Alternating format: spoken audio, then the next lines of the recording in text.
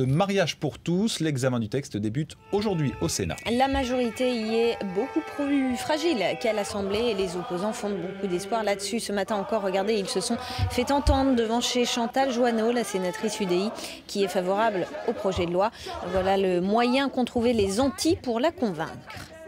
En fait, euh, on est venu euh, encourager Chantal Joanneau à protéger la famille